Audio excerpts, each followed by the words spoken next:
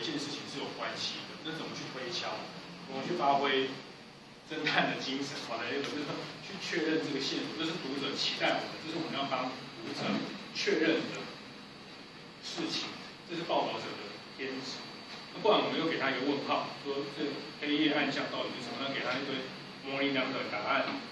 哦，那之前有一个事情好像是这样，那这件事情这样，所以这个事情说不定也是这样。那我觉得读者就觉得，那那我觉得反而人家会质疑我们的立场。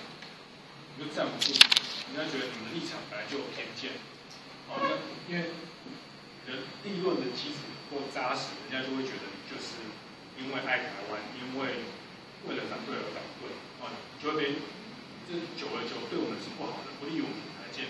所以你要有公信力，你要讲得出人家认同的东西，当然你要有本事证明它是真的，不是真的，有有本事证证明，你的证据力要够。但我们不是法官嘛，要要把那证据力要能说服我。对，那这个都是采访的基本动作了。对，那我们更